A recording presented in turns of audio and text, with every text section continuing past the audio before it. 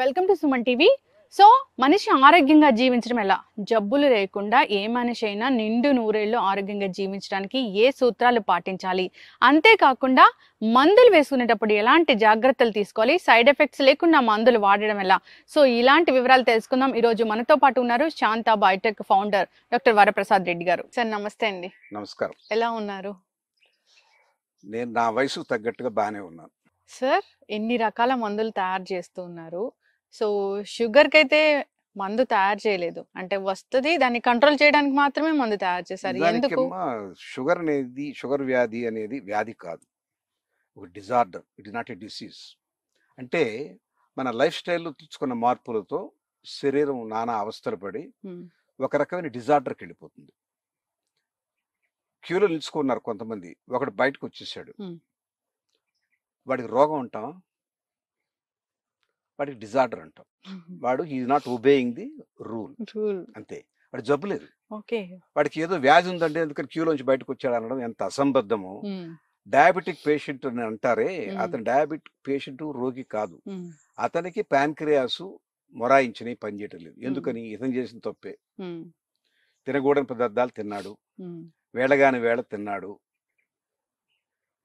ఆ లివర్ విశ్రాంతి తీసుకోవాల్సిన సమయంలో రాత్రి పదకొండు దాకా సినిమా ఎక్కడ చూసి పన్నెండు గంటలకు బిర్యానీ చేయించుకొని తిన్నాడు. ఆ టైంలో లివర్ చేయాల్సిన పనులు కొన్ని ఉన్నాయి. అయిన పక్కన పెట్టి దీన్ని ఆరాయించుకునే శక్తి దానికి ఉండదు. అప్పుడు అవన్నీ చూసి చూసి విసుగెత్తిపోయి షట్ డౌన్ చేసుకుంటాయి అలా షట్ డౌన్ చేసుకున్న ప్యాన్క్రియాస్ వల్లనే డయాబెటీస్. తిరిగి దానికి ఆ శక్తిని ఆసక్తిని కానీ ఇస్తే ఏ వైద్యం చేయకుండా కేవలం లైఫ్ స్టైల్ మార్చుకుంటే మనకు డా- షుగర్ కనపడగానే ఒక మాత్ర వేసి తొక్కేస్తాం. ఎక్కడికి పోద్దా షుగర్? బయటకు పోద్దా? పోదు. శరీరంలోనే ఉంటుంది. దాన్ని కనపడకుండా చేస్తాం మన మీటర్కి. అంతే కదా? అది వ్యాధికి నిరోధం కాదు. ప్రతి సంవత్సరం పెరుగుతూ పోద్ది. మీరు ఇవాళ తీసుకున్న ఇన్సులిన్ టెన్ యూనిట్స్ ఉంటే నెక్స్ట్ ఇయర్ ట్వంటీ తర్వాత. థర్టీ తర్వాత ఫార్టీ. దీనికి తగ్గట్టుగా మా మందు కంపెనీలు. చాలా దుర్మార్గం చేస్తాయి. అందరూ వాళ్ళ బ్రాకెట్లో పెట్టుకోవడానికి ఒకప్పుడు నూట యాభై ఉన్నా పర్లేదు అనేవాళ్ళు. ఫాస్టింగ్. నూట ముప్పై చేశారు. నూట ముప్పై ఉంటే డయాబెటిక్ అన్నారు. ఇప్పుడు నూట పది చేశారు. ఇంకా ఎక్కువ మంది వాళ్ళ వాళ్ళ బ్రాకెట్లోకి వస్తారు. తొంభై చేశారు. ఇంకా ఎక్కువ మంది. ఇప్పుడు అరవై ఐదు డెబ్బై వస్తే ప్రీ డయాబెటిక్ అంటున్నారు. Yes. అంటే అంతమందిని వాళ్ళ పేషెంట్లుగా మార్చుకొని మందులు అమ్ముకుంటాం. నార్మల్గా మా అయితే వ్యాపారం. ఎస్ నార్మల్గా అయితే ఎంత ఉండాలి సార్? నా అది దానికి ప్రతి మనిషికి వాళ్ళ వాళ్ళ స్థాయిని బట్టి ఉంటుంది. యూనివర్సల్ రూల్ కాదమ్మా. బీపీ నూట ఇరవై బై అరవై కరెక్ట్ అని చెప్పనడానికి వీల్లేదు. ఉమ్, కొంతమంది రెండు వందలు ఉన్నోళ్ళు ఉన్నారు. పర్ఫెక్ట్ గానే ఉంటారు. ఒక మనిషి ఇంకో మనిషి ఒకే రకంగా తయారు చేయబడలేదు చేసుంటే మీ మొహం నా మొహం ఒకే రకంగా ఉండాలి. లేదు కదా. మీ ఆకలి నా ఆకలి ఒకే రకంగా ఉండాలి. లేదు కదా? ఒక పువ్వును చూసినప్పుడు మీ భావం వేరు నా భావం వేరు. ఒక సందర్భానికి మీరు రియాక్ట్ అయ్యే పద్ధతి వేరు నా రియాక్షన్ వేరు. మరి ఇవన్నీ పారామీటర్స్ ఒకటే ఎందుకు ఉండాలమ్మా. నూట ఇరవై బై ఎనభై ఎట్లా దిద్దారిస్తారు అందరికి ఒకరికి రెండు వందలు ఉండొచ్చు ఒకరికి నూట యాభై ఉండొచ్చు. దీనికి యావరేజ్ అని ఒక బ్రాకెట్ పెడితే ఇవాళ లేటెస్ట్గా American diabetic association ADA the announced. Average sugar two forty nine ఉంటే ఏమి తప్పు లేదు. Two forty nine average sugar average. Morning తక్కువ ఉండాలి. మధ్యాహ్నం భోజనం చేస్తాం కాబట్టి ఎక్కువ ఉంటుంది. మొత్తం మీద యావరేజ్ టూ ఫార్టీ నైన్ ఉంటే ఓకే అన్నారు. హెచ్బిఏవన్సి ఇంతకుముందు ఫైవ్ పాయింట్ ఫైవ్ ఉంటేనే నాన్ డయాబెటిక్ అనేవాళ్ళు. సిక్స్ ఉంటే డయాబెటిక్ అనేవాళ్ళు. అది రివైజ్ చేశారు రెండు నెలల క్రితం. సెవెన్కి ఎయిట్ మధ్య ఉండొచ్చు అన్నారు. ఆ బ్రాకెట్. ఎందుకు పెట్టారు? కొంతమంది సెవెన్ ఉంటుంది కొంతమందికి ఎయిట్ ఉంటుంది. అవును సార్. సెవెన్ అండ్ ఎయిట్ అంటే చాలా కంపెనీలకి బిజినెస్ పోద్ది. అమ్మో నాకు డయాబెటీస్ లేదు నాకు ఈ మందులు సో అని నేను బీపీ మందులు వేసుకోమన్నారు నన్ను ఒకప్పుడు పదేళ్ళ క్రితం. నాకు లేదు. ఎందుకు వేసుకుంటారు వస్తుంది సార్ మీరు ఉన్నటువంటి వృత్తి అలాంటిది. చాలా ఒత్తిడితో పనిచేస్తారు మీరు. మా మాట వినండి మీరు మా సమాజానికి అవసరం అని చెప్పి ప్రేమతో వాళ్ళేం మోసం కాదు. అందరూ డాక్టర్ ఫ్రెండ్సే. వరప్రసాద్ వరప్రసాద్ చాలా మంచివాడు. ఆయనకి మందులు. పదహారు రాసేసారు. ఒక ఇరవై రోజులు వాడాను. నాకు ఎందుకు నచ్చలేదు మానేశాను. ఇరవై ఏళ్ళ నుంచి మానేస్తున్నాను. ఒక్క బీపీ ముందు కూడా వేసుకున్నాను నాకు వాళ్ళకి ఏం బీపీ లేదు. అది ఎందుకు ఇచ్చినట్టు? బీటా బ్లాకర్స్ ఇచ్చారు. వేసుకోలేదు. ఈకోస్ప్రిన్ ఇచ్చారు వేసుకోలేదు. బాగానే ఉన్నానే. నాకు ఇది ఒక్కటే స్ట్రక్చరల్ ప్రాబ్లం వచ్చింది కానీ ఎందుకు ఈ ప్రయాణాలు ఎక్కువ నాకు ఏ రకమైన అనారోగ్యం లేదు. ముఖ్యంగా మన ఆచారం మన పద్ధతి కానీ పాటిస్తే ఏ రకమైన మందులు అక్కర్లేదు వడ్డిల్లే మన వైద్యశాల. మనం మనం మన ఆచార వ్యవహారాలే మన ఆరోగ్యాన్ని కాపాడుతాయి. మనకు ధర్మం నాలుగు పాదాలు నడుస్తుందంటారు. శౌచం అనేది ఒక పాదం. మిగతా ఎన్ని పోయినలేండి ఆ సత్యం పోయింది అన్ని ఉమ్. అబద్ధాలు చెప్తారు. అహింస అది పోయింది. అస్తేజం. అస్తేజం అంటే ఇంకొకరి వస్తువు మనకు కావాలనుకోవడం అది పోయింది. కనీసంలో కనీసం మన చేతిలో ఉన్న పని శౌచం. మన ఇల్లు శుభ్రంగా పెట్టుకుందాం. మన. బాడీ శుభ్రంగా పెట్టుకుందాం. మనసు శుభ్రంగా పెట్టుకుందాం. ఇందాక చెప్తున్నాను. శరీరానికి వ్యాయామం అవసరం. బుద్ధికి బుద్ధి వక్ర మార్గాలు పోకుండా మంచి సాహిత్యం సంగీతం ఉండాలి. హృదయానికి ఏం కావాలి? ప్రశాంతత కావాలి. ప్రశాంతత ఎక్కడి నుంచి వస్తుంది? ధ్యానంలో వస్తుంది. ధ్యానం మన సనాతన ధర్మంలో ఉంది. ధ్యానం అంటే భక్తి అనుకోకండి.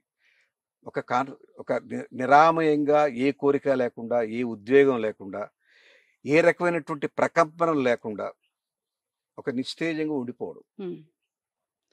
అది మనసుకు విశ్రాంతి హృదయానికి విశ్రాంతి. ఆ విశ్రాంతితో జీవనాడులన్నీ ఉత్తేజం పొంది బ్రహ్మాండమైనటువంటి ఇమ్యూనిటీ డెవలప్ చేసుకొని మొహం తేజస్తో ఉంటుంది. ధ్యానం చేసేవాడు మొహం తేజస్సు ఎందుకు ఉంటుందంటే ఇదే కారణం. పూర్తిగా శరీరంలో అన్ని నాడులు ప్రశాంతతగా ఉంటాయి. ఆల్ఫా వేవ్స్ అంటారు అవన్నీ వస్తాయి ధ్యానంలో. ధ్యానంలో కృష్ణారామ అనుకోక్కర్లేదు. మీకు తోచిన ఒక నామం పట్టుకోండి ఆ నామం కొంతవరకే వస్తుంది తర్వాత మాయమైపోద్ది. ఏవి మీకు మీ ఊపిరి కూడా మీరు తీసుకుంటే మీకు తెలియదు అలాంటి సమాజ స్థితికి వెళ్ళడమే ధ్యానం ఓకే. ఆ సమాధి స్థితికి వెళ్ళడానికి ఒక ఆధారం ఏంటంటే ఒక రెండు అక్షరాలు రామ అనుకో కృష్ణ అనుకో అది వద్దు అనుకుంటే భారతదేశం అనుకో భారతదేశం భారతదేశం భారతదేశం కరిగిపోద్ది. ఏముండదు. చక్కెర లోపల నీడలు వేస్తే కరిగిపోయినట్టుగా ఈ తీసుకెళ్ళడానికి అది ఒక ప్రయోక్త కొంత కొంత దూరం ప్రయాణం చేశాక అది కనపడదు. Yes, మీరు దాంట్లో ఉండిపోతారు ఆ స్థితిలో. పది నిమిషాలు ఉన్నా. అదే యోగ నిద్ర అంటారు. పది నిమిషాలు ఆ యోగ నిద్రలో వచ్చిన ఫలం రాత్రంతా నిద్రపోయినా రాదు మీకు. అది దానివల్ల శక్తి వస్తుంది ఇమ్యూనిటీ వస్తుంది. మనకి ఇమ్యూనిటీ కాపాడుకోవడానికి మన ఆహారం మన జీవన విధానం జీవితం అంటే కేవలం ఉద్యోగం డబ్బే కాదు చాలా ఉన్నాయి. హాయిగా ఇట్టు తోటలో కూర్చొని ఆ పూలు చూసినా ఆనందమే కదా! డబ్బు సంపాదించేవాడు ఇప్పుడు ఇక్కడ కూర్చొని చూస్తాడా? అయ్యో! నా మీటింగ్ టైం అయిపోయింది నేను వెళ్ళిపోవాలని చెప్పి వెళ్ళిపోతాడు. వాడికి అసలు ప్రకృతి అంటే తెలియదు. ప్రకృతి ఒడిలో బతకడం నేర్చుకున్నవాడు హాయిగానే ఉంటాడు. ఎప్పుడు ఎక్కిన ఫ్లైట్ దిక్కకుండా దిగిన ఫ్లైట్ ఎక్కకుండా ప్రతి హోటల్లో దిగి ఉమ్, ఎవరో మీటింగ్లు అటెండ్ అయ్యి రాత్రికి మందు కొట్టేసి తర్వాత ఏదో బిర్యానీలు తినేసి హడావిడి చేసేవాడు ఎప్పుడు హార్ట్ అటాకులతో పోతారు. అది జీవితం అనుకుంటారు వాళ్ళు. వెనక్కి తిరిగి చూసుకున్న తర్వాత కాలం గడిచిపోతుంది. మన సంప్రదాయం మనం పాటిస్తే మన అలవాట్లు మనం పాటిస్తే ఏ రకాల రోగాలు రావు. రోగాలు వచ్చినా నయం చేసుకునే శక్తి భగవంతుడు ఈ శరీరానికి ఇచ్చాడు.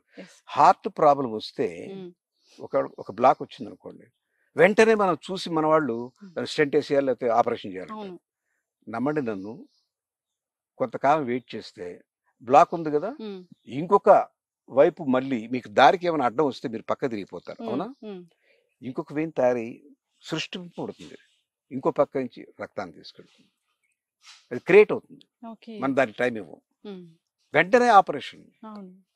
అంటే భయం వేస్తుంటది కదా సార్ మరి. ఆ భయాన్ని నుంచి బయటపడాలంటే మానసిక స్థితి బాగుండాలి కదా సమతుల్యత ఉండాలి కదా ధైర్యం ఉండాలి కదా ఒక నమ్మకం ఉండాలి కదా. విశ్వాసం ఉండాలి కదా. హిందూ మతం అని చెప్పొద్దు. హిందూ ధర్మంలో ఏం చెప్పారు? నువ్వు మంచిగా ఉండు. వృక్షో రక్షితి రక్షిత. అంతే కదా? నీవు వృక్షాన్ని రక్షిస్తే దీన్ని రక్షిస్తుంది. నీవు సమాజాన్ని రక్షించు సమాజం రక్షిస్తుంది. నీవు ఒక నమ్మకం విశ్వాసం పెట్టుకో నేను నువ్వే కాపాడుకుంటావు. నీ అహం బ్రహ్మస్మి నువ్వే బ్రహ్మవి అని అనుకునే నమ్మకం విశ్వాసం ఉంటే ఆందోళన ఎందుకు పడతాడు? పడతాడు. పడతాడు కాబట్టి వెళ్ళిపోతాడు. అది అది దాని ధర్మం నిర్వర్తించే లోపల ఈయన ఏదో చేసేస్తాడు. అది ఇక నా ప్రతిసారి ఇట్టే చేస్తున్నాడు. నేను చేయక్కలేదు నిద్రపోదు. అవును. అది స్వయం సంచాలకం అంతా మనం అడ్డుకట్టేసేస్తున్నాం. అది దాన్ని కరెక్ట్ చేసుకునే అవకాశం దానికి మనం ఇవ్వటం లేదు.